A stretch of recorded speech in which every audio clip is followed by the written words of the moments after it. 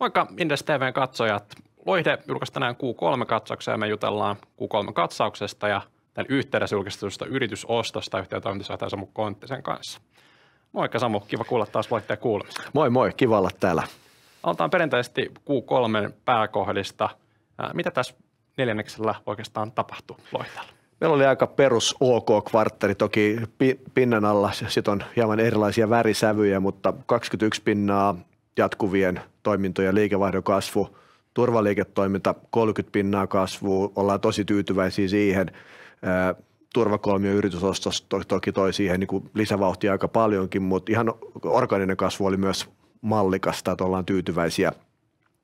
Digitaalisen kehittämisen puolella selvä hidastuminen verrattuna alkuvuoteen. Ollaan alkuvuoteen menty yli 10 prosentin orgaanisessa kasvussa ja nyt tiputtiin viiteen. Siinä näkymät on, on my, myös ainakin lyhyellä jänteellä niin kuin meille, meille selvästi niin kuin heikentyneet.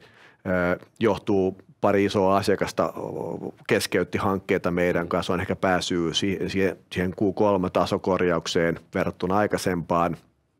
Tuossa on niin noita pääkohtia tuolta yläriviltä. Kannattavuudessa mennään viime vuoden tasolla, mutta isossa kuvassa ollaan kyllä tekemässä selvää kannattavuusparannusta.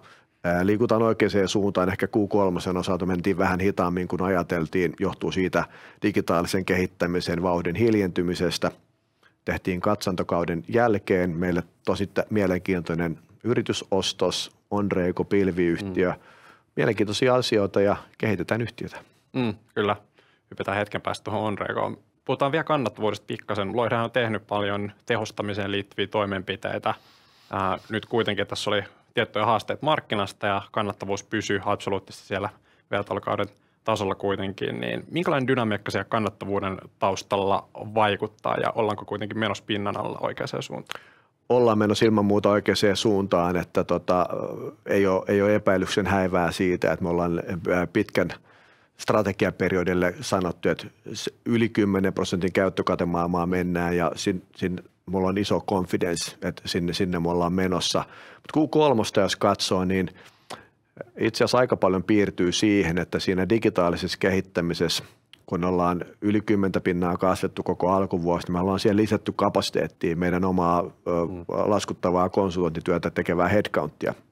Ja nyt kun se kasvu aleni siihen viiteen prosenttiin käytännössä sen takia, että siellä olemassa olevia asiakkaita peruutti hankkeita, niin meillä on tämä kapasiteetti kyydissä. Ja sitten se kapasiteetti ei olla nyt tässä kysyntätilanteessa yhtäkkiä saatu toiseen hankkeeseen. Niin se käytännössä liikevaihdon tippuminen sieltä yli 10 prosentin kasvutasolta mm. tuohon noin viiteen, niin – se liikevaihdon tippuminen käytännössä olisi suoraan alariville, koska meillä on nyt penkillä, penkillä porukkaa, joiden piti olla asiakashankkeissa. Et se selittää tosi paljon tästä Q3 mm. niin kuin kannattavuus, että minkä takia ollaan hieman jääty jälkeen siitä omasta pääajatuksesta ja tulee Q4 olevaan varmaan ajatuksellisesti aika, aika samannäköisiä, että me ei uskota, että toi nopeasti muuttuu.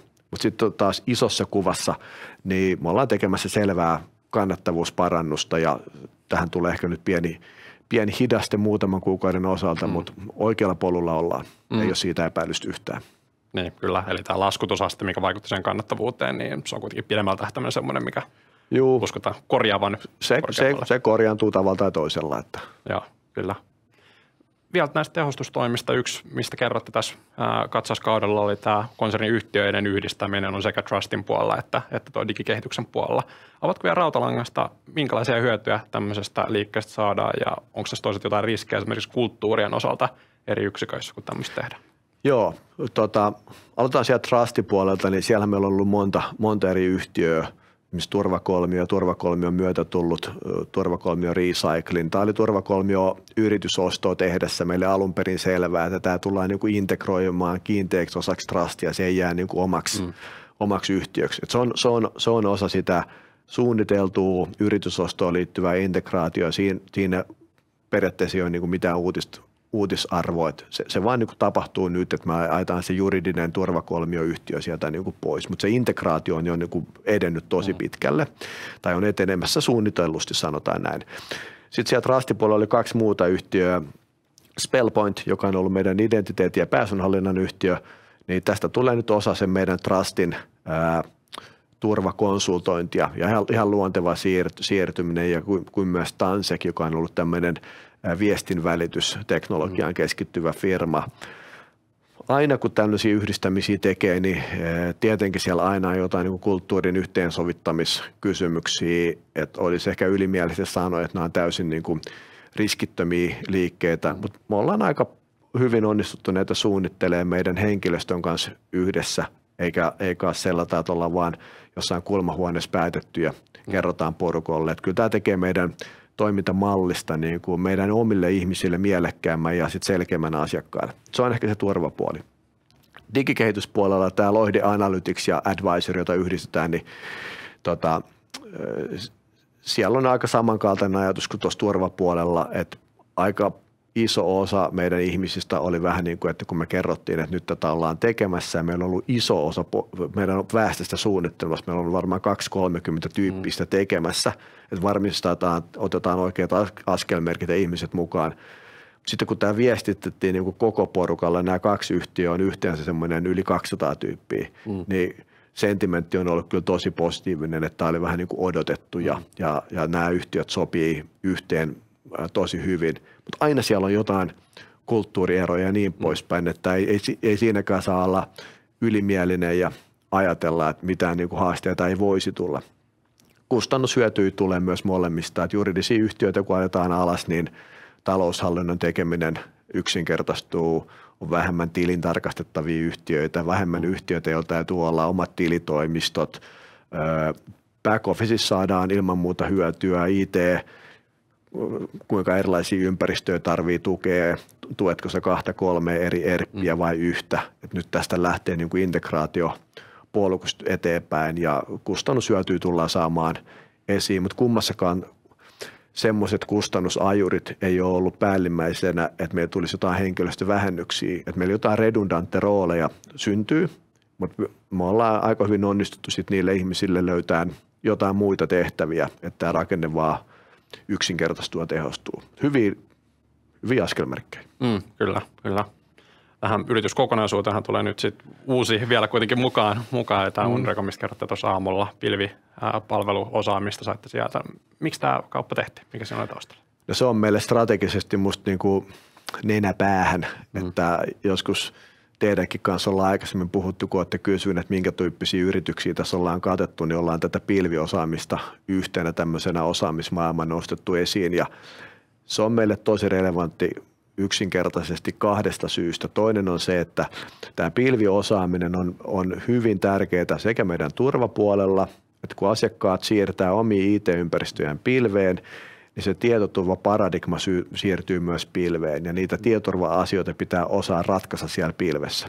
Eli meidän turvapuoli tarvitsi koko ajan lisää lisää pilviosaamista.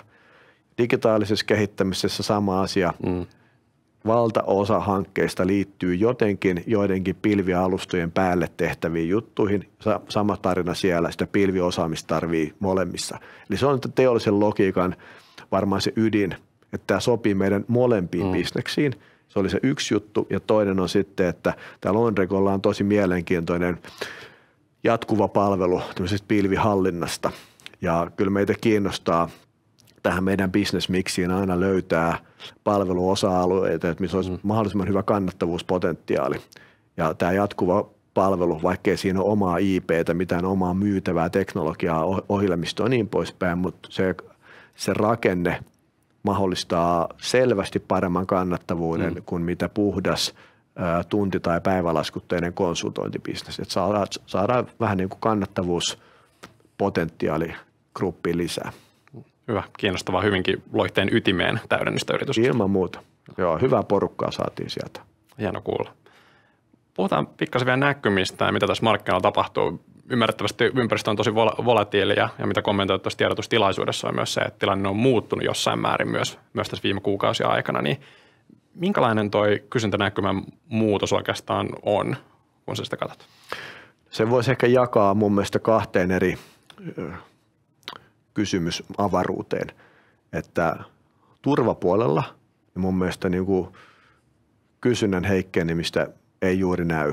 Voi, voi olla jopa toisinpäin, että tämä vallitseva maailman tilanne ne saattaa jopa ruokkia niin kuin turvallisuuteen liittyvää investointihalukkuutta. Ja siellä, siellä puolella aina tässä, tässä vaiheessa ei, ei kysyntähaasteita näy, mm. ehkä jopa päinvastoin. Digitaaliseen kehittämiselle ilman muuta näkyy meidän lasien läpi ihan suht selvästikin, mm. mutta sen pystyy pikkasen myös isoloimaan niin, että tämä on erityisesti yhtiöt, jotka on kuluttajaliiketoiminnassa. Ja semmoiset yhtiöt varmaan siellä pohdiskelee, että kun heidän asiakkaillaan, kuluttajilla varmaan jatkossa koko ajan enemmän ja enemmän menee sitten rahaa nousseiden lainakorkojen myötä asuntolainan lyhennykseen, sähkö, kaikki kulutus, mm. elintarvikkeet ja niin poispäin, niin se voi olla tietynlaisia kulutushyödykkeiden – kysyntä sitten tota kautta saattaa niin kuin makrotasossa niin kuin hiljentyä. Mm. Me nähdään, että ehkä semmoiset yhtiöt, jotka on, on tuossa niin kuin myrskyn silmässä miettimässä sitä omaa bisnestään, niin niistä on tullut nyt niin kuin digitaalisen kehittämisen osalta päätöksissä arempia ja hitaampia. Mm. Ja se, se on sitten meille se, se kysyntä, että ollaanko siellä painamassa kaasua ja äh, kuinka hanakasti syntyy uusia hankkeita ja niin poispäin. Että toi on mun mielestä reflektointi tällä hetkellä. Mm, kyllä. Niin sanoit tuossa, että turvapuolella ehkä saada, saatan nähdä jopa toiseen suuntaan ää, sitä kysyntä, kysyntätrendiä tässä ympäristössä, mikä on ehkä muille yhtiöille, monelle, ää, monen, monen tuottajapalvelun kysynnällä on haastava. Mitä tuo turvapuoli ää, oikeastaan näyttää tällä hetkellä sekä tämä kyber, kyberturva että fyysinen turva ja miettii esimerkiksi Loihteen tätä yksi turvallisuuskonseptia, niin onko se esimerkiksi siihen ää, kysyntää näkynyt hyvin? Joo, ky- kyllä me ollaan siihen kysyntätilanteeseen aika tyytyväisiä, mutta se, että meillä menee siellä aika hyvin, niin musta tuntuu, että se on ehkä enemmän nyt tällä kertaa jopa ehkä meidän omaa hyvyyttä. Että meidän oma palvelukokonaisuus on tosi tehokas ja tosi kattava, paljon kattavampi kuin kellään muulla meidän kilpailijoilla. Ja mä luulen, että tässä tilanteessa niin tämä modulaarisuus sataa meidän laariin, että me päässään jollain yhdellä palvelulla asiakkaaseen sisään, niin me voidaan niin laventaa – tosi paljon sitä, että mitä kaikkea muuta asiakas voi meiltä saada. Sitten jos miettii sitä kysyntätilannetta, niin tuossa vaikka sanoin, että se turvapuolen kysyntätilanne on, ei ole sillä tavalla ehkä niin kuin sillä tavalla heikentynyt kuin mm. digikehittämispuolella, mutta sieltäkin löytyy sitten semmoisia osa-alueita, mitkä on kysymysmerkkejä, esimerkiksi niin kuin uudisrakentaminen. Niin mm. kyllä uudisrakentamisessa niin varmaan niin monet rakennusyhtiötkin sen näkee, että se uudisrakentamisen määrä tuskin on nyt lähikuukausina kiihtymässä. Ja se on yksi osa meidän bisnestä, että uudisrakentamisessa tuodaan niihin kiinteistöihin niitä turvatekniikoita. Se, on, se, ei ole, se ei ole merkittävän iso osa meidän bisneksestä, mutta se on osa meidän bisneksestä. Niin se on yksi esimerkki siitä, että se turvapuolikin, niin se ei ole niin yksiselitteistä, että mikä mm. se kysyntätilanne siellä, siellä on. Mutta me ollaan aika luottavaisia kuitenkin tähän meidän niin kuin markkinapositioon siinä ja meidän kykyyn pärjätä siellä bisneksessä. Mm.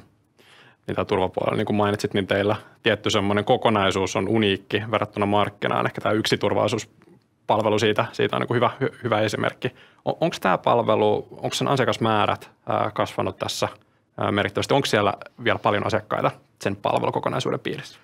Joo, on asiakasmäärä, asiakasmäärä kasvaa koko ajan.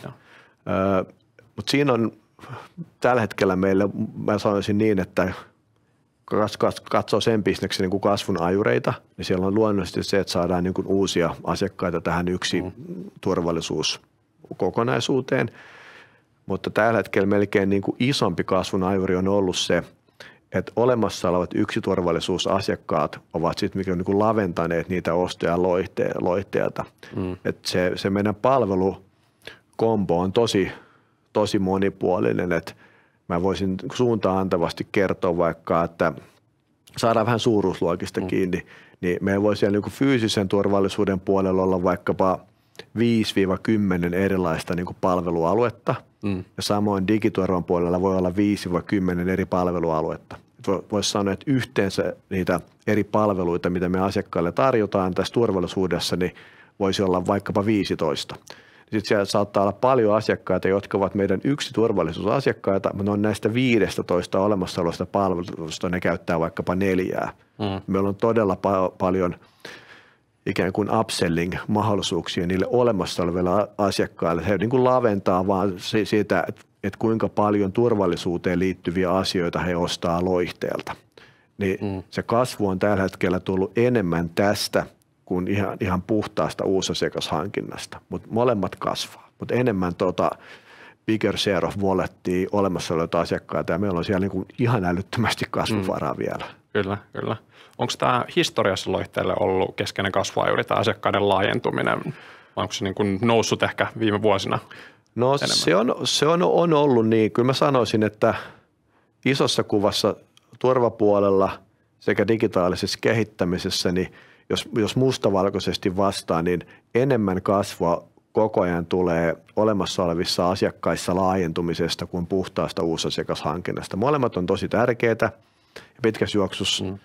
Tietenkin puhdas uusasiakashankinta on myös pakollista, niin siitä mm. täytyy onnistua, mutta kun tämä meidän tarjoama on aika laaja, niin se on meille tosi iso, iso mahdollisuus niin kuin kasvaa olemassa olevissa asiakkaissa. Ja katsot koko loihteen. Meillä on noin 4000 asiakasta – niin mm. meillä on ihan älyttömät kasvumahdollisuudet Suomessa ilman, että me voitetaan uusia asiakkaita. Me tietenkin halutaan voittaa ja koko ajan mm. voitetaankin, mutta kyllä se olemassa olevassa asiakkaissa kasvaminen on tosi, tosi tärkeää myös. Kiitos. Otetaan vielä loppuun kustannusinflaatiosta lyhyet kommentit. Nähdään kustannusinflaatiopainetta aika monessa paikkaa. Toki näitä halutaan sitten viedä myös hinnoitteluun, sit, jos paineita tulee. Niin miltä tämä kokonaisuus näyttää loihteelle? Onko niissä kustannus kustannuksissa inflaatiopaineita ja pystytäänkö näitä viemään asiakkaalle miten nopeasti? On inflaatiopaineita ilman muuta ja osin pystytään viemään asiakkaalle, mutta ei, ei varmaan täysmääräisesti. Että siis, julkiset kilpailutukset niin on tosi vaikea kesken sopimuskauden ihan niin kuin kilpailuteknisesti mennä muuttamaan hintoja. Mm. Ei, ei asiakkailla ole siihen niin kuin mahdollisuuksia – mutta on myös paljon asiakkaita, jotka sitten taas ymmärtää sen, että loihteen tyyppisen kumppanin, niin se asiakkaan kanssa asioiden yhdessä tekeminen, sen täytyy olla myös hyvää bisnestä meille. Ja jos meillä on niin kustannuspaineita meidän vaikkapa niin palkoissa tai jossain kustannuksissa, niin jos ei niitä lainkaan saada siirrettyä hintoihin, niin loppuviimeksi se, se, se alkaa sitten meitä heikentämään ja mm. ei se ole meidän asiakkaiden etu, että heidän kumppani menee henkitoreisiin. Et kyllä näitä on paljon myös hyviä esimerkkejä, että asiakkaiden kanssa ollaan näissä yhdesti päästy sovittua, mutta varmaan kattotasona on se, että ei se geneerinen kustannuspaine, inflaatio, niin ei se täysmääräisesti missään tapauksessa tuu hintoihin siirtymään, mikä tarkoittaa, että loppujen yhtiöille kyllä tulee kustannushaasteita. Mm. Hyvä, kiitos. Kiitos tästä tavauksesta ja kiitos Samu paljon kaikista muistakin kommenteista. On kiva kuulla Loitteen kuulumisia taas. Hyvää loppusyksyä ja ää, alkavaa talvea sulle ja Loitteen tiimille. Kiitoksia.